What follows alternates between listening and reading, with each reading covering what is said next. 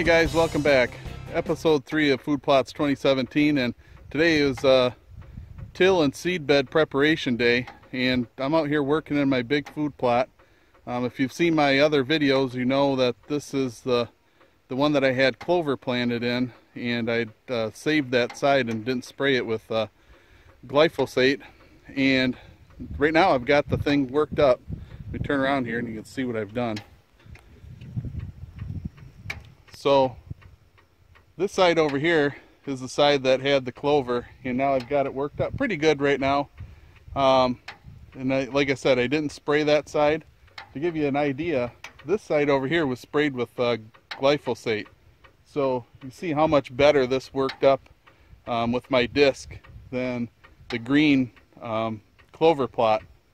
Um, this was all cut by a neighbor. He harvested the, the clover for his hay bales and took those but right now I'm getting it worked up and next weekend I'm going to plant it um, this side will go back into uh, uh, brassicas this year and then this side here will get clover again this year maybe a little bit of rye and that's kind of the rotation I'm going to do every year I flip-flop them so that I get that clover putting the nitrogen back into the soil hey guys it's day two and uh, prepping food plots uh, working the soil and applying fertilizer today.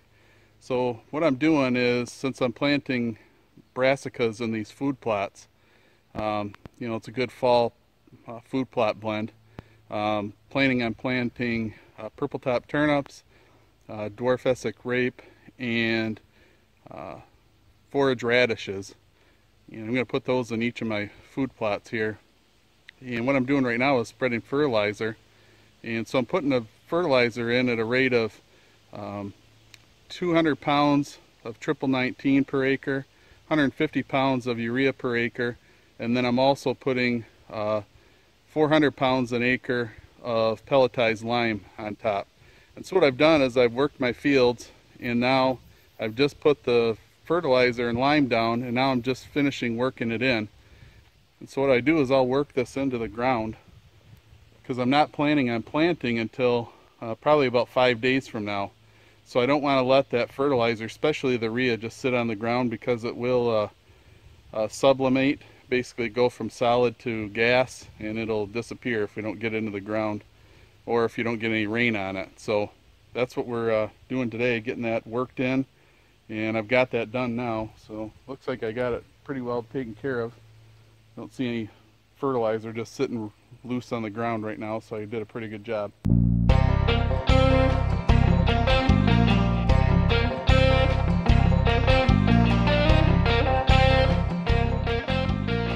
So here I am at one of my smallest plots, and this thing's not even an eighth of an acre. I call it a micro plot.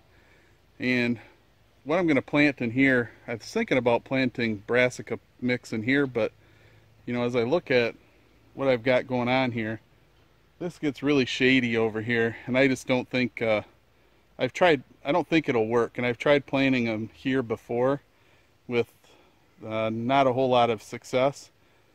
This works probably best going into like a clover mix with, uh, probably put some rye in with it. I'm to take a walk over here.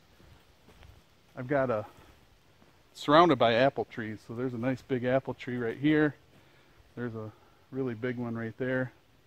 I have uh, apple trees all over through my properties, and this year is a good year for apples. So I might put, you know, I might try to see if I can get a few brassicas to grow in this small area over here. It gets a little bit more sun over here, and I might have a little better luck than back on the uh, back on the other side there, where it's getting a lot more shade.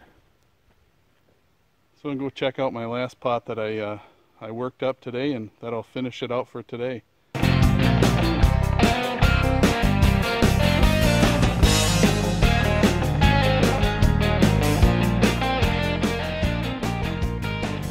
Okay guys, I just finished uh, working up my last plot and working the fertilizer and lime into it. Um, so this one's going to be ready to plant now. This is probably uh, my half acre plot.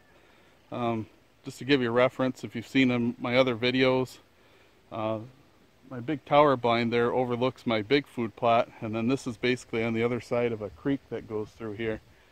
And that's where this one is. And couple things to point out in this plot, I've got a nice big apple tree here, a couple more trees over there. Spin around, another big one right here. Uh, the only problem is, is these apples are usually gone off the trees by the by the time the rut starts usually. All these apples have already dropped so there's not much to hunt over really. So that's why that's why I put the food plot in. Um, we'll take a look over here this food plot will be brassicas that brassica blend I talked about earlier I put the same amount of fertilizer and lime on this plot so basically 400 pounds of lime per acre, 200 pounds of triple 19 per acre, and 150 pounds of urea per acre.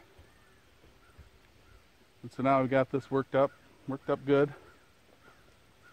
I leave a couple of these trees in the plot just because, uh, I don't know, I, it seems like they, the deer seem, feel a little more comfortable with a tree or two in there, but that could be all a bunch of BS, but that's just what I was thinking. Let me know what you think about that in the comments. You know, I know one thing, having them in the middle of the plot isn't much fun trying to work around them. I don't know if it's really worth it. But anyway, I leave them in there for now. So here's the rest of this plot. When it comes to hunting season, this is where the deer typically are. They they like to stay back away from that big tower blind and they will they will they will hang out back here. And so it'd be nice if I can get, this is the harder area of this plot to grow food though. It's closer to the woods. It's needed a, lot of lime over the years. As you can see the ferns up there, uh, indication of acidic soil.